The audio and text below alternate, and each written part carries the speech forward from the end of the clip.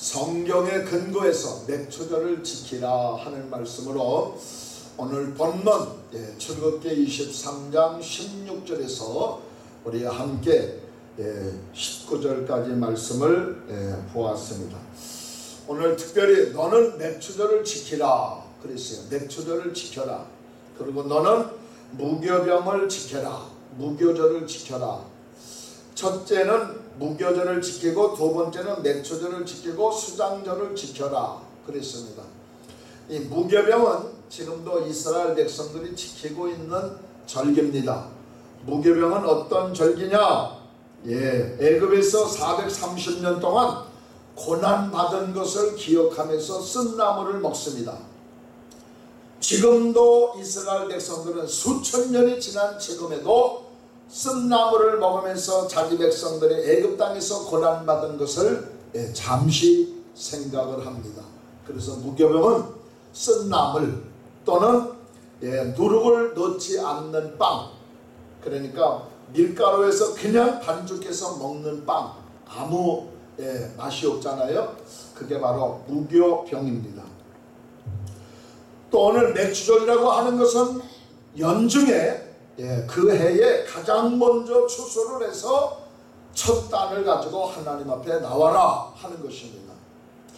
또 두 번째는 예, 이 맥주절을 지키면서 너는 예, 첫 것을 하나님 앞에 가져오고 세 번째는 수장절은 연중 1년의 모든 예, 일을 마무리하면서 마지막 예, 수장절은 추수 감사절을 말하는 것입니다. 여러분 하나님께만 감사하는 절기가 있고요. 다른 데는 감사하는 절기가 없어요. 무당도 감사하는 무당이 없어요. 또 점쟁이도 마찬가지예요. 야, 내가 점을 잘 봤으니까 남에게 나에게 점을 주신 그 신에게 감사한다. 그런 말이 없어요. 다른 종교는 감사가 없습니다. 아무것도 없어요. 왜? 그분이 나에게 해준 게 없으니까 없는 거예요. 그러나 우리는 하나님이 우리에게 해준 일이 얼마나 많아요. 애굽 땅에서 430년 동안 구원받은 거 고난 받다가 하나님이 해방시켜 주신 거 이게 얼마나 감사한 일입니까? 하나님만이 하실 수 있는 일이라고 하는 것이죠. 그래서 가나안 땅에 너희들이 들어가면 첫 열매, 첫 열매가 오늘날로 말하자면요 보리와 밀입니다. 지금쯤 보리와 밀을 예, 수술을 합니다. 추수를 해서 그 창고에 모든 사람들이 걷어들입니다. 이스라엘 백성들이 가나안 땅에 들어가면 첫 소와 밀과 예, 보리로 첫 열매로 드립니다. 오늘 본문에 나와 있는 대로 예, 빈손으로 내게 보이지 말지니라 그랬어요. 애굽에서 구원받은 이스라엘 백성들은 광야 생활에서 다 실패했습니다. 참 놀라운 일입니다. 430년 애굽 땅에서 구원받았는데 에, 광야에서는 다 실패했습니다. 한 사람도 살아남지를 못했습니다.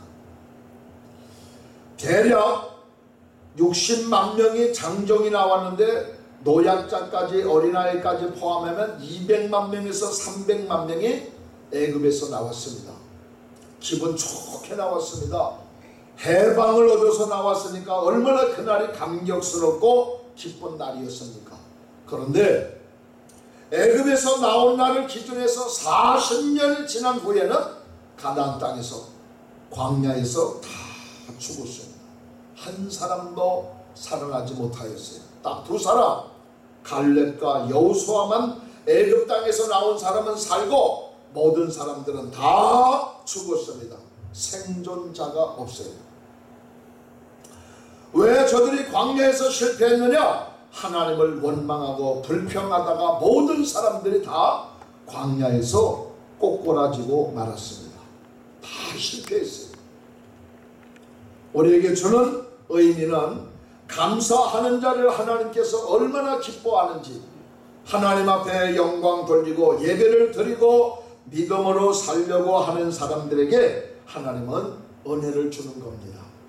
광야에서 실패한 그들의 마지막이 얼마나 예, 원통한 일입니까? 광야는 아무것도 아닙니다.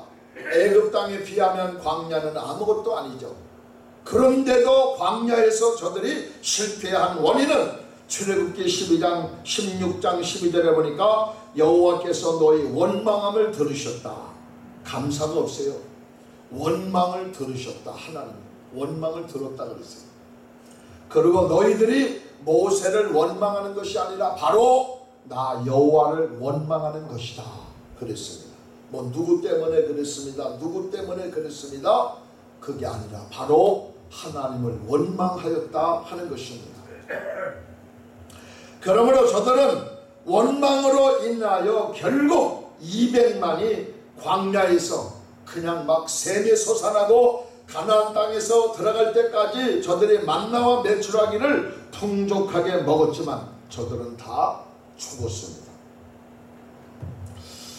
예, 민수기 16장 18절에 보면 만 4천 명이 죽었다고 그랬어요.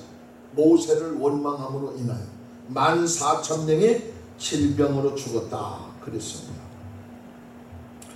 그러므로 저와 여러분은 감사하는 자가 되어야 합니다. 할렐루야. 따라하세요. 하나님 감사합니다. 네, 감사합니다. 믿음으로 살면요.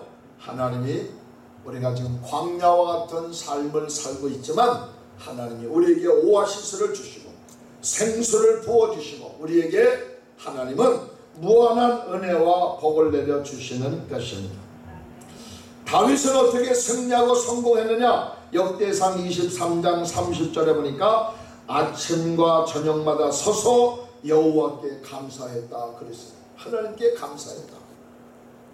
다윗이 얼마나 많은 어려움과 환란과 위기를 겪었습니까? 그런데 아침 저녁으로 하나님 전에 두 손을 들고 하나님 감사합니다. 감사합니다. 그것이 다윗을 위대한 왕으로 축복의 사람으로 세웠습니다. 그러므로 데살로니가 전서 5장 16절에 보니까 항상 기뻐하라 쉬지 말고 기도하라 범사에 감사하라 그랬어요.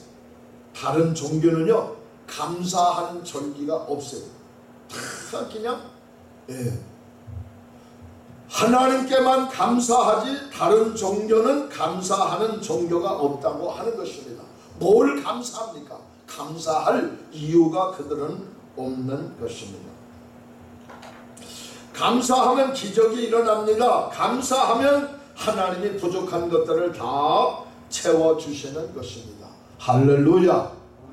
제가 여러분에게 간증을 드리자면요. 35년 전, 36년 전 제가 86년도에 이민을 왔습니다. 이민을 왔는데 86년, 87년, 89년 그 사이에 예, 이민이 참 많이 왔어요. 이 지역에. 제가 그 지역에 함께 이민 온 사람들을 예, 이렇게 다 예, 손꼽을 수가 있어요. 그런데 여러분 그 중에 제일 첫 번째 주자로 저희가 저희는 이민을 왔습니다. 이민을 올 때 저는 완달라도 가져오질 않았어요. 그냥 비행기표만 가지고 왔어요. 비행기표 한 장만. 근데 저도 비행기표 한 장만 가지고 왔는데 예, 우리 사모도 예, 뭐 완달라도 가져온 게 없어요. 예, 거의 빈손으로 비행기표 한 장 가지고 왔어요. 제가 오고 예, 3년 있다가 우리 사모가 왔는데 제일 먼저 이 지역에서 1년 만에 여러분 집산 사람은 우리밖에 없었어요. 굉장히 예, 빠른 거예요. 1년 만에 아파트 생활 미국에서 저희는 1년 생활하고 그리고 곧바로 집으로 들어갔어요. 집 사 가지고 들어갔습니다. 그 당시만 해도요 89년도 90년대는요 이자가 17% 20%였어요. 지금 이자는 비교가 안 됩니다. 그, 그 당시에 이자가 예, 거의 18% 20% 이자였어요. 아주 이자가 높았습니다. 하나님은 감사하는 자에게 기적을 주시고 하나님은 축복의 통로를 열어주시는 것입니다. 여러분 미국이 1930년도에 대공황이 왔습니다. 불황이 왔어요. 지금 역사 이래 이 미국의 1930년도 지금으로부터 100년 전에 온 공황은 정말 미국이 그야말로 무너질 수밖에 없는 그러한 경제 공황이었습니다. 그게 바로 1차 대전 끝난 후 1930년도서부터 예, 불황이 일어났습니다. 그런데 예, 하나님을 잘 믿는 찰스 이엠이라고 하는 한 가정이 있었어요. 미국 전역의 큰 불황으로 인하여 공장이 문을 닫고 가게도 불황이고 직장도 문을 닫고 많은 사람들이 경제적 밑바닥으로 인하여서 힘들었습니다. 그런데 찰스 이엠이라고 하는 사람이 1937년도에 교회를 온 가족이 갔습니다. 사랑하는 아내와 두 자녀와 함께 교회를 갔는데 그 당시에 예, 하나님 앞에 헌금을 많이 드리지는 못했지만 11조 17불과 감사헌금 3불을 드렸어요. 그러니까 20불을 드렸어. 11조 17불 예, 지금으로부터 100년 전이죠. 그리고 감사헌금 3불을 드렸습니다. 작지만 하나님 앞에 모든 사람들이 힘들고 어렵다고 하는 대공황 속에서 그들은 드렸어요. 그러니까 저녁에 끼니가 없어요. 먹을 게 없어. 빵도 없고 우유도 없고 그리고 과자도 없고 아무것도 먹을 게 없습니다. 그러나 그들은 작지만 하나님 앞에 믿음으로 주일날 하나님 앞에 20불 헌금을 드렸습니다. 부인도 걱정을 합니다. 자기도 걱정이 됩니다. 자녀들은 저녁에 뭘 먹어야 되는데 먹을 거리가 없습니다. 그런데 목사님은 교회에서 많은 목사님들이 설교할 때에 당신네들이 하나님 앞에 11조를 도둑질함으로 인해 미국에 지금 대불황이 왔다 하고 설교를 했습니다. 하나님의 것을 하나님 앞에 드리지 아니하니까 미국이 전례 없는 큰 불황이 왔다라고 예, 목사님들도 예, 이렇게 설교를 했습니다. 그런데 그날 저녁에 자기 집에 친구가 찾아왔어요. 친구가 와서 문을 두드립니다. 찰스 있나? 그러니까 어 있어. 야 찰스야 내일 부둣가에서 일을 하는데 같이 나가자. 그러는 거예요. 그 당시에 부둣가 가서 일하면 하루에 7불 5불을 받았어요. 그런데 친구가 와서 그러는 거예요. 거기 가면 허드날 일을 하는데 뭐 목재도 나누고 시멘도 나누고 하는데 어, 일거리가 생겼다는 거예요. 그러니까 내일 갈래 하니까 그래 내 갈게 해가지고 아침에 나가서 저녁 늦게 일을 하니까 5달러를 줬습니다.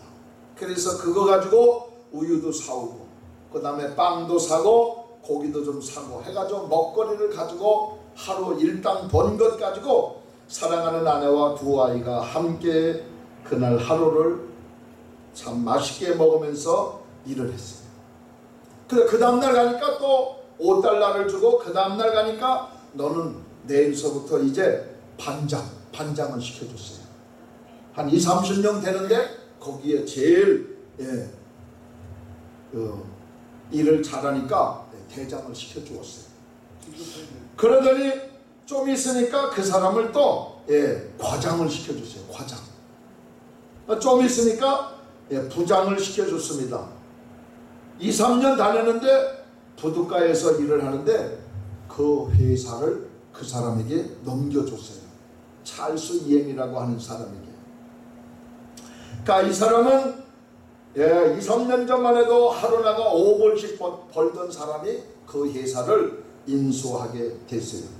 어, 그런데 그 회사가 점점 잘 돼가지고 나사 공장을 회사를 인수를 하고 차량 부품 회사를 인수를 하고 그는 20불 하나님 앞에 헌금 드리고 미국 전역에 18개 100만 불짜리 이상 되는 교회를 세웠어요. 너무너무 감사했어요. 그리고 1년에 300만 불씩 버는 예, 사장이 되었고 크게 하나님 앞에 복을 받아서 결국은 대표자가 되었습니다. 힘들고 어려울 때 집에 우유도 없고 빵, 빵도 먹을 것도 없고 아무것도 없지만 하나님의 말씀에 의해서 11조 17불 감사헌금 3불을 드렸더니 그는 차고 넘치도록 하나님이 채워 주셨습니다. 잠언 3장 9절은 이렇게 말합니다. 내 재물과 내 소원물에 처음 익은 열매로 여호와를 공경하라. 그리하면 내 창고가 가득히 차고 내 집들의 새 포도즙이 넘쳐나리라. 하나님이 넘치도록 채워주신다는 것입니다. 감사하는 자에게 고린도후서 9장 6절에 보니까 이것이 곧 적게 심는 자는 적게 거두고 많이 심는다는 많이 거둔다는 하는 말이로다. 각각 그 마음에 정한 대로 할 것이요 인색함으로나 억지로 하지 말지니 하나님은 즐겨내는 자를 사랑하시느니라. 그랬어요. 기쁜 마음으로 하나님 앞에 드리는 자. 여러분 요한복음 6장 9절에 보면 예수님께서 말씀을 전할 때 사람들이 얼마나 많이 모였는지 한 2만 명에서 3만 명이 베세다 들녘에서 예수님 말씀을 들었어요. 해가 질 무렵에 예수님께서 저들을 너희들에게 먹을 것을 갖다 주오라고 합니다. 먹을 걸 주어라. 그러니까 여기는 빈들이여 여기는 산인데 어떻게 이 많은 사람들을 먹일 수가 있습니까? 하니까 베드로의 형제, 베드로의 동생이죠. 안드레가 이렇게 말합니다. 예수님, 여기 소년이 작은 도시락을 가지고 왔습니다. 물고기 두 마리와 보리떡 다섯 덩어리. 그거 일로 가져와라. 예수님이 그럽니다. 예수님께서 그 도시락을 받으시고 하늘을 향하여 축사하시고 여러분 어린 소년 가난한 집안의 소년입니다. 아주 빈곤한 집안이에요. 아버지는 그저 그냥 하루하루 벌어서 사는 아주 가난한 집안의 소년인데 어머니가 야 너 예수님 말씀 듣다가 배가 고프면 이 도시락을 먹어라 해가지고 보리떡 다섯 덩어리와 물고기 두 마리를 싸줬습니다. 그거를 예수님께 드렸더니 예수님이 그걸 받으시고 소년의 도시락을 이렇게 높이 드시고 축사하시고 제자들을 향하여 띄워줘라 그러는데 장정만 5천 명이 먹었다 그랬어요. 장정은 20대에서 30대를 말합니다. 그리고 어린아이와 할머니, 여자분들까지 다 포함하면 한 2만 명에서 3만 명이 도시락으로 어린이 도시락으로 풍족하게 먹고 12광주리가 남았다 그랬습니다. 믿으시면 아멘 합시다. 아멘. 할렐루야. 예수님 말씀에 요한복음 6장에 나와 있는 말씀에 마찬가지예요. 20달러를 드렸더니 하나님의 1년에 30년 후에 300만 불씩 버는 그룹 회장이 된 것이다. 똑같은 것입니다. 또 누가복음 17장에 보면 10명의 문둥병자가 예수님께 치료받았어요. 그런데 한 사람이 돌아옵니다. 한 사람이 돌아와서 예수님 내가 문둥병에서 치료받았습니다. 예수님이 이렇게 말씀하십니다. 아홉은 어디 갔느냐? 아홉도 다 깨끗함을 받았는데 왜 너 혼자 왔느냐 합니다. 그때에 네가 구원 받았느니라 라고 말씀을 하여 주었습니다. 예, 지금은 제가 미국 사람을 예를 들어서 지금으로부터 100년 전에 찰스 예미라고 하는 사람 제가 감사의 기적을 말씀했습니다. 지금은 우리 한국 사람을 제가 한 분을 더 소개하려고 합니다. 국민일보에 나온 큰 기사입니다. 간증이었습니다. 지금으로부터 1990년도니까 거의 여러분 한 34년 전에 강남 충현교회의 교육 목사로 아주 최요한 목사님이라고 하는 40대 초반의 목사님이 계셨습니다. 그런데 이 사람이 동생 뒷바라지 하냐고 목사님 그 당시에 한 달 봉급이 충현교회에서 60만 원을 받았습니다. 많은 돈은 아니죠. 60만 원을 받았으니까. 그걸 가져가서 동생 뒷바라지 하냐고 2천만 원 빚지고 그리고 거기에서 이자를 떼어서 내고 또 자기네 가정에서 살아야 되고 또 11조 감사 예물을 떼면 이자 40만 원, 감사 헌금 11조 10만 원 떼면 10만 원 남아요. 네, 60만 원 받으니까.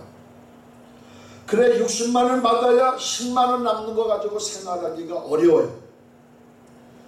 그래서 결국엔 남는 것도 없고 매일 돈 때문에 이 가정이 목사님과 사모님이 스트레스를 받으니까 사례비 받은 거 전부를 우리 하나님께 그냥 드리자. 이양 10만 원 남는 거 그거 뭐 그거 가지고도 생활이 안 되니까 목사님하고 사모님하고 그냥 사례비 전부를 60만 원을 하나님 앞에 드리자. 그러면 이 가정은 아무것도 없는 거예요. 우유도 못 사고 빵도 못 사고 또 뭐도 못 사요? 예, 고기도 못 사 먹고. 목사님과 사모님이 60만 원을 그냥 전부 이리 뛰고 저리 뛰어 10만 원 남는 거 그거 그냥 그러지 말고 우리 60만 원을 다 최유한 목사님하고 사모님하고 동의해서 하나님 앞에 드렸어요. 한 달이 지났는데도 아무 소식이 없어요. 2천만 원 꽂은 빚쟁이가 하는 말이 야 이제는 본금은 뭐 막론하고 이자도 못 갚냐 하면서 막 그 최유한 목사님을 예, 다 붙이는 거예요. 미안합니다, 미안합니다. 그분이 나에게 주셔야 되는데 그분이 안 주시네요. 그러는 거예요. 그러니까 이자 받아야 할 사람이 하는 말이 야 너에게 돈 줄 사람이 어디 있겠느냐? 그분이라고 하는 분은 하나님인데 이 이자 이 받는 분은 그분이 누군지를 모르는 거예요. 네가 너 누가 대한민국에서 너 누구에게 누구에게 그렇게 초라하고 힘도 없는데 돈을 주겠느냐 하는 거예요. 가정은 점점 힘들었어요. 두 번째 달에도 충혈교에서 사례비 60만 원 받아가지고 60만 원을 다 하나님 앞에 드렸어요. 그러니 더 힘든 거예요. 이건 뭐 이자도 못 내고 아무것도 이 가정은 올수 마비예요. 아무것도 할 수가 없어요. 하나님이 아 캄캄해 아무 소식이 없어요. 그러니까 세 번째 달에 또 60만 원을 살비를 받았어요. 또 하나님 앞에 자기들이 다 드렸어요. 세 번째, 세 번째 달에도. 그러니까 100일이 지났죠? 얼마나 답답합니까? 목사님도 답답하고 사모님도 답답하니까 삼각산 기도원에 올라가서 목사님, 사모님이 거예요. 누구께요? 그분께. 그 하나님 해결해 주세요. 해결해 주세요. 그분이 주셔야 하는데 그분이 하늘문을 열어주셔야 하는데 이건 뭐 사방이다 캄캄하고 찾아오는 사람도 없고 전화해 주는 사람도 없고 아무 사람 아무 사람도 100원짜리 하나 주는 사람이 없어요. 사정을 아는 분은 하나님밖에 없어요. 전 사례금을 다 거예요. 주의 일을 하면서. 그런데 어느 날 그 교회 권사님에게 전화가 왔어요. 목사님, 최 목사님, 잠깐 우리 커피 한잔 합시다.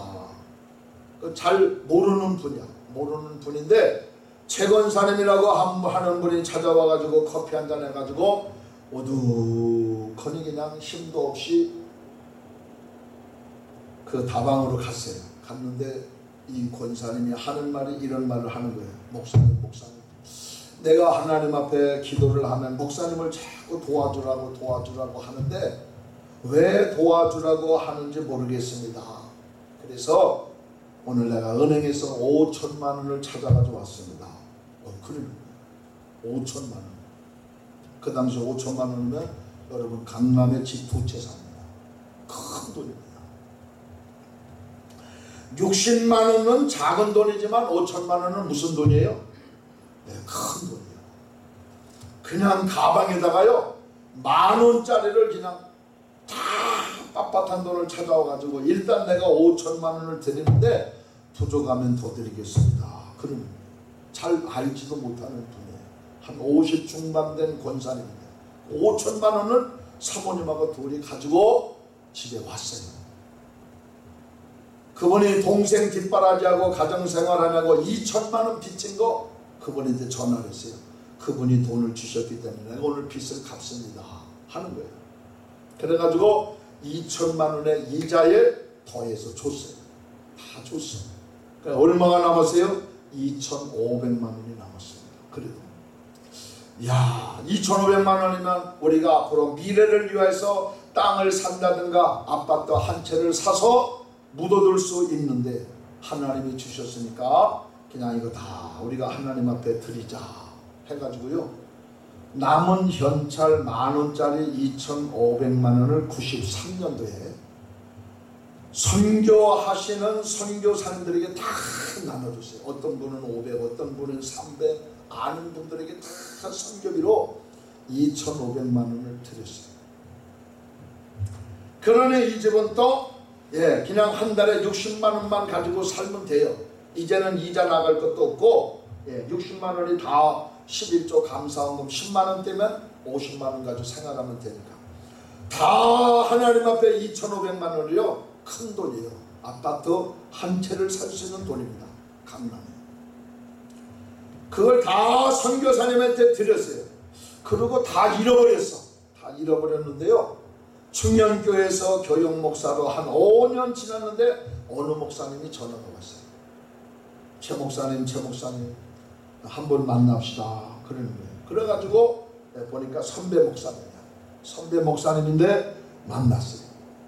선배 목사님인데 만났는데 2000년 다 되기 전인데 내가 곧 교회를 은퇴하는데 당신 최 목사가 여기 와서 후임자로 했으면 좋겠습니다. 거예요. 예. 여러분 한 500평 땅에다 한 50억짜리 교회를 잘 쳐는 거예요. 후임자가 좋은 목회지에 와서 목회를 할 수 있도록 이분이 예, 30억을 들여서 50억을 들여서 교회를 잘 쳤어요. 그리고 오라는 거예요. 예. 하나님은 그의 최 목사님의 그 힘들고 어려울 때도 하나님 앞에 감사하고 또 자기가 넉넉한 삶을 살아갈 수 있는 현찰 2,500만이 들어왔을 때도 그걸 다 하나님을 위하여 헌신할 때에 하나님은 그에게 예, 새로운 교회당 50억 되는 이상 교회도 하나님 앞에 복을 받아서 후임자로 가게 되었습니다. 감사하면 이게 바로 예, 국민일보에 나왔던 간증입니다. 여러분 사막은 어떤 땅입니까? 사막은 아무것도 살 수 없는 초목도 짐승도 사람도 살 수 없는 땅이 사막입니다. 사막은 광야와 같이 척박한 땅입니다. 아무것도 살 수 없는 버려진 땅, 저주받은 땅입니다. 아무리 그 땅이 많아도 아무 소용없는 땅, 그 땅이 바로 광야 사막입니다. 물이 있어야 사막이 살고 광야가 살고 짐승도 살고 사람도 사는데 물은 그 광야에 위에 계신 하나님이 내려주셔야 그 땅이 오아시스 옥토가 되어집니다. 지구상의 모든 나라 모든 백성들은 하나님의 도우심과 하나님의 은혜가 없으면 살 수가 없어요. 우리가 사는 이 땅에도 여러분 이른 비가 와야 합니다. 봄비가 내려져야 합니다. 그래야 땅이 삽니다. 늦은 비가 내려져야 합니다. 7, 8월에 늦은 비가 내려지지 아니하면 이른 비에 곡식을 심었던 모든 곡식이 다, 다 죽습니다. 반드시 늦은 비가 와야 합니다.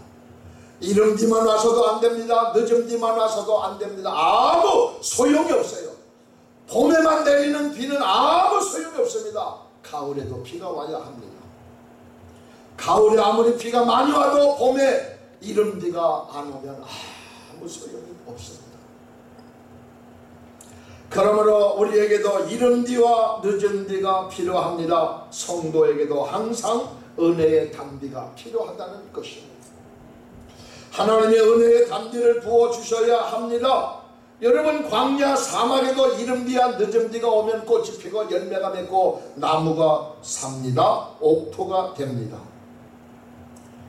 성도들이 마음을 넓게 갖고 옥토에 떨어진 씨앗이 30배, 60배, 100배의 열매를 맺는 것처럼 신명기 11장 13절에 보니까 내가 오늘날 너에게 명하는 나의 명령을 너희가 만일 청종하고 너희 하나님 여호와의 그 말씀을 사랑하며 마음을 다하고 성품을 다하여 섬기면 여호와께서 너희 땅에 이른 비와 늦은 비를 적당하게 내리시니 너희가 곡식과 포도주와 기름을 얻을 것이요 내가 먹고 배부를 것이라 그랬어요. 하나님 말씀을 따라가면 우리 인생에도요 하나님이 이른 비와 늦은 비를 내려 주신다 그랬습니다. 이른 비와 늦은 비. 여러분 우리 자녀들이 아침에 일찍 나갑니다. 그리고 늦게 집으로 들어옵니다. 아침에도 하나님이 동행해 주셔야 이른 비가 있고 늦게도 집에 들어올 때 하나님이 예, 그 비를 주셔야 합니다. 이른 비와 늦은 비가 필요한 것입니다. 그러나 성경은 이렇게 말합니다. 신명기 11장 16절에 너희가 스스로 삼가라 두렵건대 마음이 미혹하여 돌이켜 다른 신들을 섬기면 그것에게 절하면 여호와께서 너에게 진노하사 하늘을 닫아 비를 내지, 내리지 아니하므로 땅으로 소산을 내지 않게 하심으로 너희가 여호와의 주신 아름다운 땅에서 속히 멸망하리라 그랬습니다. 하나님이 하나님을 경외하고 섬기면 하나님의 이른 비와 늦은 비를 주시지만 하나님을 떠나면 비를 주시지 않는다. 아침에 나가서 늦게 들어올 때 큰 선물 보따리를 가지고 들어오는 우리의 자녀들.